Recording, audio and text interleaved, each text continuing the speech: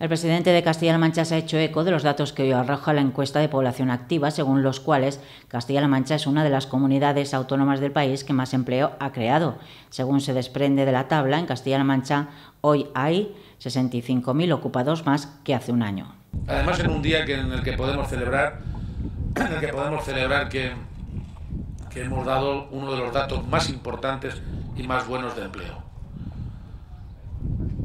Somos la comunidad autónoma que más empleo, de las que más empleo ha creado en pleno COVID. Hoy hay 65.000 ciudadanos en esta región, fíjense que estamos como estamos, 65.000 personas más ocupadas, es decir, con puestos de trabajo, que hace un año.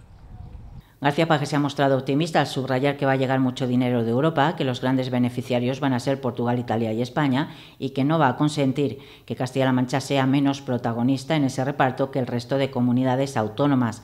Precisamente la financiación y el reparto de estos fondos serán algunas de las cuestiones que el jefe del Ejecutivo Regional, junto a sus homólogos del resto de comunidades autónomas, pongan sobre la mesa este viernes en la cita de la conferencia de presidentes que se celebra en Salamanca. Respecto a la financiación, el presidente regional ha señalado que es una oportunidad de que se retrate bien el Estado de si va a haber justicia o no en la financiación, un dinero que dice que no se debe confundir con el que llega de Europa, que puede ser un espejismo antes de recordar que son fondos que pagamos entre todos y que hay que organizar con un criterio de igualdad de oportunidades. Me gustaría que no se confunda el dinero que va a venir de Europa, que puede ser un espejismo. Ahora va a entrar tanto dinero que va a parecer que lo vamos a tener para siempre. Error esto, es para un rato y hay que gestionarlo bien. Y no hay que hacer las cosas sin cabeza, ni mucho menos además pensando en componendas electorales.